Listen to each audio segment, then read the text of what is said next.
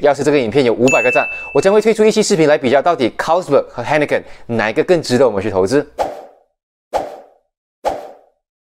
由于影片也达到五百个赞，我将履行对观众的承诺，我将在这个影片分析与比较 c a r s b e r g Malaysia 和 Heineken Malaysia 到底哪一家公司更值得我们去投资，并在影片的最后告诉你马股近期有可能会发生的一件事。不想错过的朋友就记得把影片看到最后哦。嗨，我是乐雪，欢迎来到频道和我一起快乐学习吧。这个频道主要分享一些金融数据与投资理财的知识。如果你喜欢这类型的影片，就记得点赞、分享和订阅哦。还有，记得把那个小铃铛打开。Carlsberg Malaysia 和 Heineken Malaysia 都是马来西亚的啤酒制造商，也就只有这两家，所以在马来西亚的啤酒领域形成了 duopoly 双头垄断。那么你们好奇，为什么马来西亚有这么多啤酒品牌，但是就只有两家啤酒厂？那是因为 Carlsberg Malaysia 和 Heineken Malaysia 旗下是有很多你和我都熟悉的啤酒品牌。Carlsberg Malaysia 旗下的品牌有 Carlsberg、Asahi、Somersby、1664 Blanc。Cornerstone、Corona、Jolly Shandy 等等，而 Heineken Malaysia 旗下是有 Heineken、Tiger、Guinness、Anchor、Kirin Beer、Strongbow 等等。简单来说，你在马来西亚的超市随便购买一瓶啤酒，有大约五十八的机会会买到 Carlsberg 或者 Heineken 的啤酒哦。那么，当我们比较这两家公司，谁是老大呢？截至九月十号的股价，我们可以看到 casper Malaysia 的 market cap 市场价值是在大约五点九个 billion，而 Heineken Malaysia 是在五点八二 billion。只可以说，自我做了 casper 的视频，他们两个的市值就变得非常靠近了，不相上下。那么废话不多说，就让我们从它的财政报告来看，到底谁更值得我们去投资的吧。事先声明，我所用的数据都是截止六月三十号六个月的数据。当我们比较这两家公司的 profitability 盈利能力，截止六月三十号的数据，我们可以看到 casper 的盈利状况是比 h a n n e k e n 来的更好，除了收入比较高，净盈利也更高。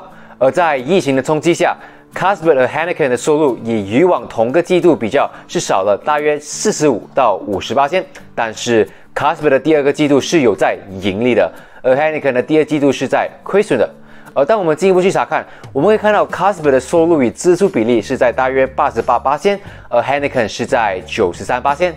这说明了 Casper 在支出上是有更好的把控能力，而这应该就与 Casper 早期推出的 Fund Journey 计划有关。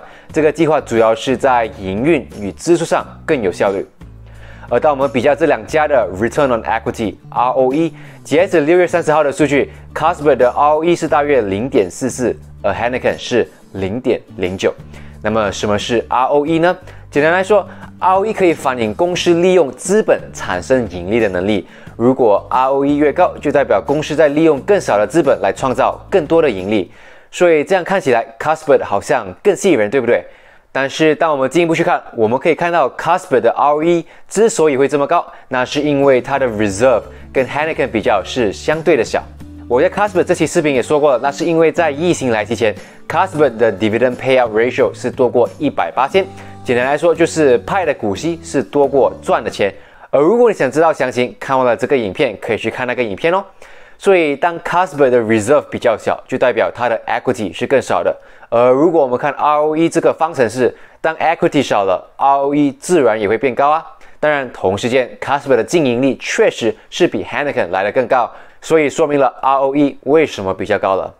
当 equity 少，就代表 liability 负债多，而 Carlsberg 的 total liability 是大约七十一八千，而短期债务就占了六十七八千，而短期债务是流动资产 current asset 的一点二七倍，那是不是有点危险呢？这代表如果什么突发事件，Carlsberg 的流动资产是不够来应付它的短期债务。而当我们看 Heineken 的 balance sheet 资产负债表，其实就蛮相似的。总体债务是占了大约六十四八线，而短期债务就占了大约六十八线。短期债务是流动资产 （current asset） 的零点八八。所以我们可以看到，这两家公司是有非常多的短期债务。而当我们看往年的财政报告，短期债务总是占了非常大的部分。呃，这有可能就是啤酒行业的本性。由于啤酒行业的 receivable turnover rate 是比它的 creditors turnover rate 高，也就是说，欠 c a s p e r 和 Heineken 钱的人还的比 c a s p e r 和 Heineken 还钱给他的债主还要快，所以现金流是充裕的，比较大的短期债务影响不大。但是如果你知道还有其他原因导致这个现象，可以在留言区分享给我们哦。当然，同时间，当我们比较这两家公司的 Return on asset ROA，c a s p e r 的 ROA 是零点一三，而 Heineken 是零点零五，而 RA 就是衡量资产产生盈利的能力。不说，有可能你没有察觉，当我们以总资产来衡量这两家公司，Heineken 的规模是比 Casper 大个大约两倍。虽然 Heineken 比较大，但是 Casper 赚的钱比较多。所以，如果我们把这两家公司的盈利能力比较，Casper 是略胜一筹的。而至于股息的方面，往年 Casper 和 Heineken 所派的股息是大约四八千，但是 Casper Malaysia 在第一季度报告公布时就已经宣布停止派发股息，而 Heineken 也在公布第二季度报告的时候没有派发股息，主要原因还是因为这两家公司想要采取比较保守的做法。至于几时会重新开始派发，就真的不好说了。而当我们从 P/E ratio 的角度去看，截至九月十号的股价。Carlsberg Malaysia 的 P/E 是在大约二十六点六一，而 Heineken Malaysia 是在二十四点九七。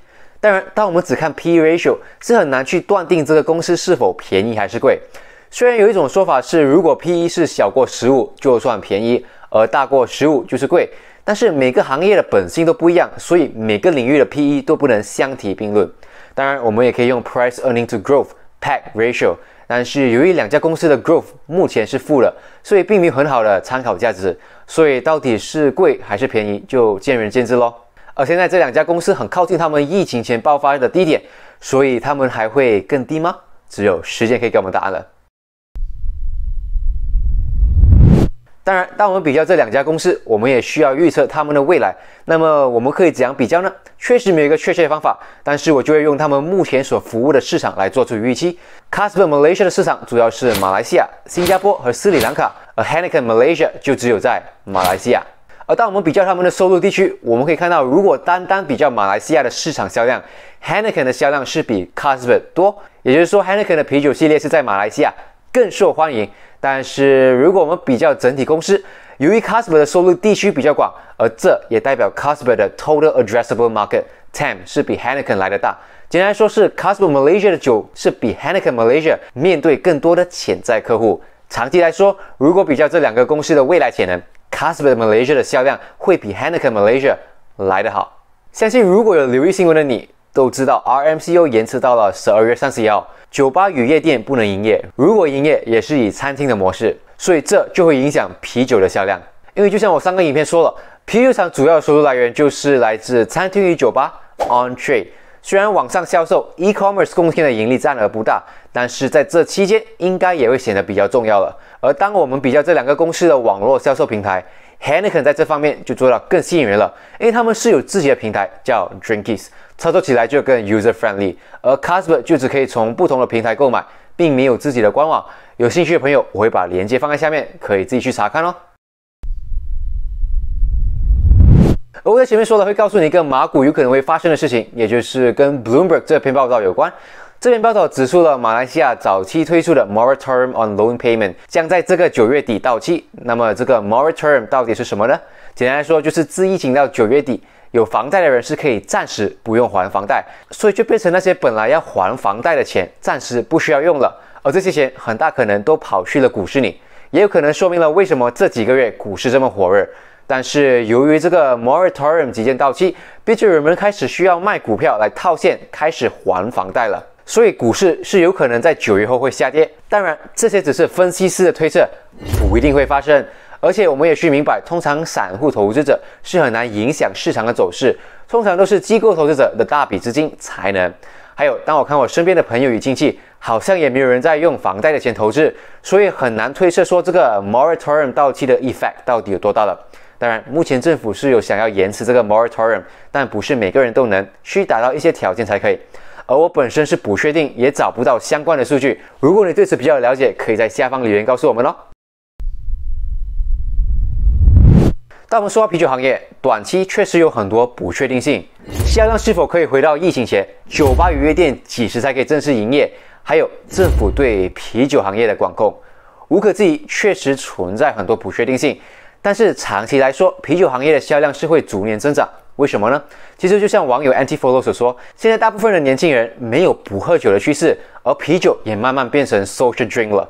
随着每年都有新一批年轻人二十一岁，喝啤酒的族群只会越变越大，间接增加销量。所以长期来说，啤酒行业是非常值得我们做长线投资的。但是至于要选哪一家公司，就见仁见智了。而且我做这期视频不是叫你买这两只公司的股票，只是想分析这两家公司的不同点。要记得在投资中独立思考很重要。好了，我这期影片就到这里，你可以在下面留言，到底你比较喜欢哪家公司哦。如果你喜欢我的影片，就记得点赞、分享和订阅哦。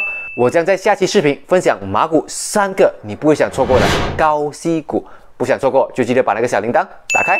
当然，如果你想更详细了解 Casper 这家公司与啤酒行业到底怎么赚钱，可以点击上方的影片哦。我们下期再见，拜了个拜。